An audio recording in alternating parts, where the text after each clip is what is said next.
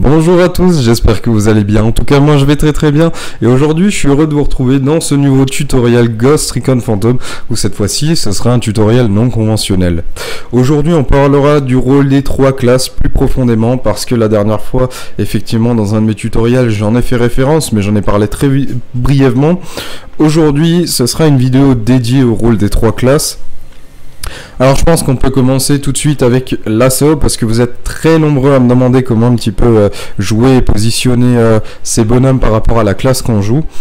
On va commencer par l'assaut. Basiquement, il y a trois lignes de front qui composent le champ de bataille sur Ghost Recon Phantom. Je parle généralement, comment ça devrait se passer à mon sens. Ça ne reste que mon avis personnel, mais ça fonctionne très bien dans les, dans les équipes qui appliquent euh, qui applique euh, justement ce principe de jeu-là, notamment dans la mienne et chez les textes. L'assaut doit être en frontal. Ça doit être l'une des classes qui est le plus avancée au niveau Battlefield. Euh, Battlefield qui veut dire champ de bataille en français. L'assaut a les technologies les plus offensives. L'assaut a la résistance la plus poussée, le taux de régénération le plus accru et euh, le pourcentage de mitigation de dégâts le plus puissant. Euh, l'assaut possède également des technologies ultra offensives comme le blitz ou l'ADS qui sert à couvrir l'avancée des collègues sur le terrain. Pourquoi l'assaut doit être devant? Parce que même avec une AN94 et compagnie qui vous permet de sniper, vous pouvez pas vous permettre de rester derrière parce que si vous, vous ne poussez pas en tant qu'assaut, euh, qui va le faire? Vous êtes les mieux à même de réagir en fonction de la situation que vous allez retrouver en face. Vous êtes les censés être les plus réactif quant à l'utilisation de vos technologies. Alors voilà, si vous rencontrez un groupe d'ennemis, vous sortez un blitz, vous les renversez tous, les potes progressent derrière avec un, assaut qui reste légèrement en retrait, qui sort l'ADS. Euh, vous avez des armes ultra offensives qui font très mal avec des cadences de folie justement pour vous motiver à avancer. Euh, c'est une mauvaise idée de compter sur la N94, la nouvelle, euh, la nouvelle M14 qui vous sont sortis, ça c'est de la grosse merde. la N94 est très très bien, mais même avec cette arme-ci, vous, vous devez te pousser.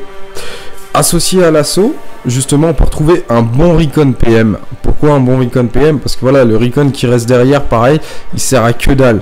Euh, son scan, il va mettre 15 ans à arriver sur le champ de bataille, il va en cramer beaucoup plus. Et puis, euh, même, je veux dire, on a besoin du Recon PM devant pour la simple et bonne raison que la plupart euh, des trous du cul qui utilisent le vecteur, excusez-moi du terme, mais c'est vraiment des bits pour la simple et bonne raison qu'ils campent derrière, alors que le motion detector, il a 20 ou 30 mètres de portée. Il faut que vous soyez au contact pour voir les ennemis qui courent autour de vous.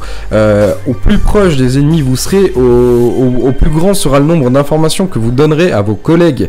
Donc il faut que vous progressiez en même temps que vos assauts. Le motion detector, donc le détecteur de vecteur ne sert à rien pour les snipers ou les PM qui campent au fond de la carte. Vous, touchez la bite euh, derrière un mur, vous faites ce que vous voulez, mais vous prenez le détecteur de tir qui a lui à 70 mètres de portée. Et là, vous pourrez voir quelque chose, même si par rapport au détecteur de vecteur, son efficacité est moindre, on se l'avouera. Donc vous avez votre première ligne d'attaque qui compose euh, votre champ de bataille. Vous avez les assauts et les Recon PM qui avancent, qui s'organisent, qui construisent un jeu offensif ou non en fonction de ce qu'on retrouve en face. Au milieu ou derrière, on a les supports à l'AMG. Il y a deux types de supports. Il y a les supports qui vont devoir rester au milieu du champ de bataille, donc c'est-à-dire tout le temps aux aguets, parce que ils vont se retrouver en danger. C'est les supports qui vont utiliser le BO. Le support blackout est là pour assister la première ligne sur le champ de bataille. C'est-à-dire qu'avec son blackout, le support va devoir être réactif quant à ce qu'il va voir en face, il doit être très nerveux et surtout lorsqu'il lance son blackout, en même temps il doit être réfléchi, offensif et modéré.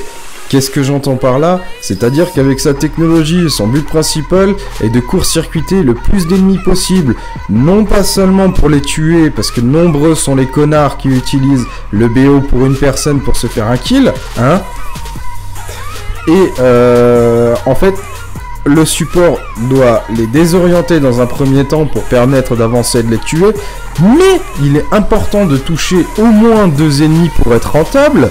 Deux ennemis, j'entends pas de recon, hein, on s'en bat les couilles du recon. Euh, j'entends deux ennemis minimum possédant des technologies.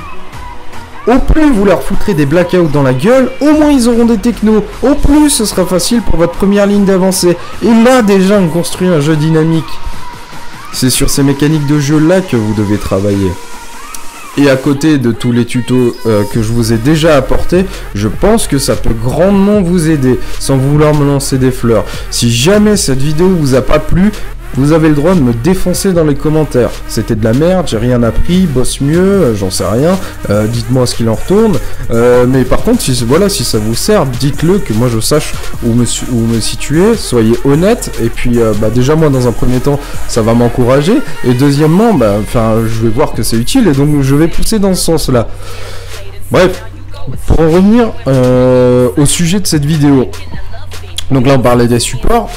Donc vous avez les, supports middle range qui doivent aussi adapter leur arme. Ça sert à rien de prendre des lance-roquettes genre euh, la 6P41SV avec un x4 PSO. Vous allez vous faire mais démolir la gueule. Euh, il vous faut une arme euh, ou au réflexe une fois complet ou au réflexe une fois open. Style bah, réflexe open, la red dot ou le cobra qui voilà, vous permet d'avoir un angle de vue global quand vous scopez et puis d'être plus dynamique et euh, réactif qu'avec un viseur dans lequel vous, allez vous enfermer. Vous devez prendre des armes adaptées. Par exemple sur Tomsk, vous allez prendre une MG4, euh, version OPM euh, ou non, une M240, attention, pas la Parablack parce que voilà, c'est assez restrictif quand même ce que je viens de dire. La Parablack, vous ne pouvez que l'acheter dans dans l'armurerie Athéna. Donc ce que je vous conseille, c'est de stuffer une M240 en canon court et puis euh, d'apprendre à jouer avec ou en canon moyen plutôt pour les joueurs qui sont un petit peu plus tempérés. Ça c'est pour des cartes genre Tomsk, le point C de Nukes et tout. Et puis après on a les passages en long range ou pour ceux qui jouent les Gide, par, euh, par exemple, je vais prendre l'exemple de Chertanovo, euh, qui vont se mettre côté office, donc c'est quand on respawn côté bus. on avance sur C, à droite vous avez les bureaux, là où les campeurs adorent se foutre, à la fenêtre et compagnie. Ben, moi, pour les bons supports, ce que je conseille de faire, c'est de se mettre dehors à la porte, avec cette fois-ci une arme qui est un petit peu plus long range pour pouvoir piquer les snipers qui sont ou derrière le kiosque, ou dans les arches derrière, vous savez, les, petits poteaux qu'il y a derrière le kiosque.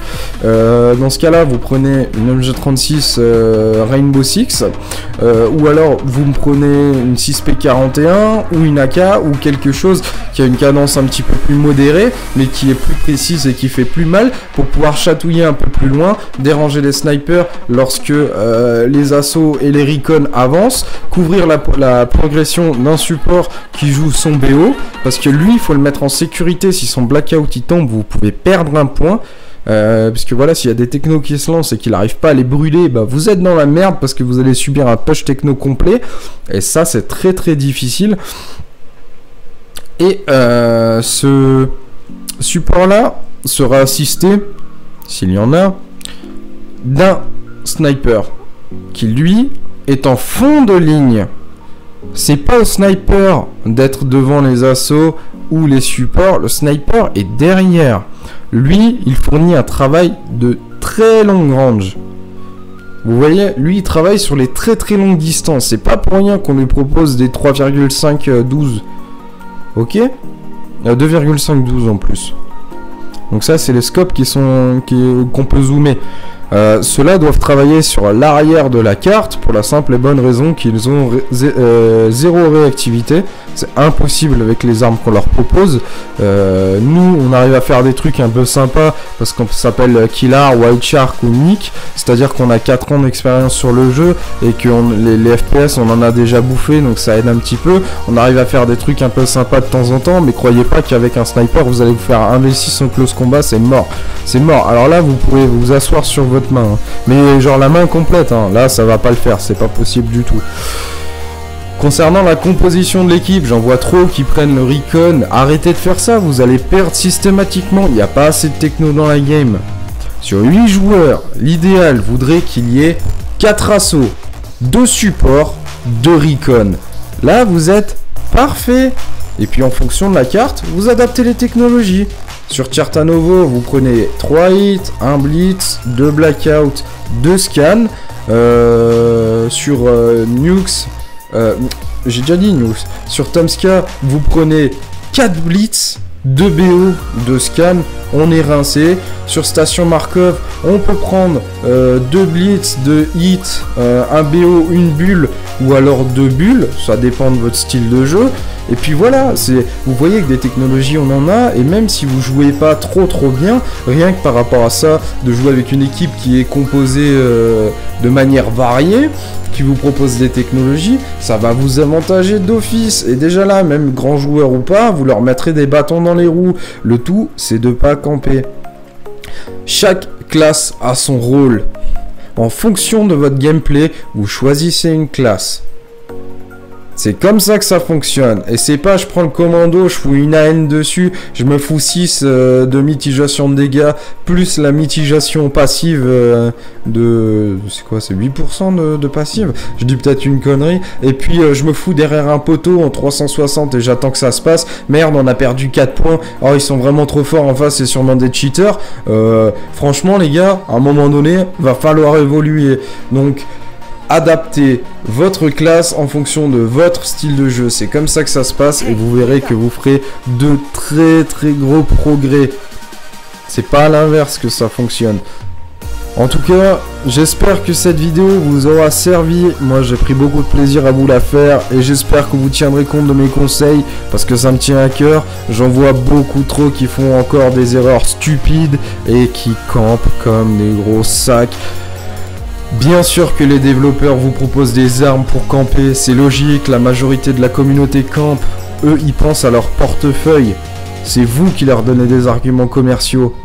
Eux vous proposent le contenu. C'est normal. Si vous campez, ils vont vous sortir des armes de campeur. Si vous rushez, ils vont vous sortir des armes de rusher. Je sais pas si vous vous souvenez, mais euh, au début, ils ont fait des ASVAL, ils ont fait des P90 War, ils ont refait des F2000, des, c'était génial. Et puis depuis qu'on est passé sur GRP, la communauté a tellement changé. Surtout depuis que Squeezie et Cyprien ont fait euh, une vidéo découverte. Bah alors là, je vous dis pas la quantité astronomique de Kiku qui ont débarqué sur le jeu. Et du coup, ça fait qu'ils ont commencé à développer des armes de camp, mais des, sans déconner, il nous semble des armes aux 4 fois PSO ou alors au fantôme 1-4. Même pour les assauts, on n'a jamais vu ça. Là, ils nous ont refait une variante de sniper pour les assauts. Non mais eh, sans déconner. Alors soyez pas cons, respectez bien les mécaniques de jeu, le rôle des classes. Entraînez-vous sérieusement quant à votre AIM. Ça viendra pas du premier coup. La première marche de l'escalier du succès, c'est l'échec. des, des beats dans la tronche, vous allez en prendre plus d'une fois, les mecs. Hein. Mais celui qui tente rien, il arrivera jamais à rien. Et il n'y a, a pas de victoire sans bataille, les mecs. Hein. C'est comme ça. Faut savoir ce que vous voulez. Et puis tôt ou tard, euh, à force d'essayer de progresser, vous allez trouver votre propre game style et vous allez commencer à progresser. Et ça, ça va venir par palier, petit à petit. Et moi, je suis là pour vous donner un coup de main. Enfin, ceux qui ont envie d'être aidés. Les autres, malheureusement, bah écoutez, tant pis, ma foi, euh, on vous laissera derrière. Hein. On avancera sans vous. Enfin bon. Si jamais vous avez aimé cette vidéo, n'oubliez pas de laisser un pouce bleu, de partager, de commenter et surtout de vous abonner. Ça m'aidera énormément et surtout ça motive à continuer le travail parce que moi tout ce que je fais là, c'est pas pour moi, c'est pour vous. Actuellement, je ne touche rien sur mes vidéos, je le fais sur mon temps libre et pour mon plaisir, pour vos yeux. Enfin bon, vous m'avez compris. J'espère vous revoir très prochainement sur une de mes prochaines vidéos. Je vous fais un salut façon militaire et je vous souhaite une bonne fin de soirée. À la prochaine. Ciao ciao.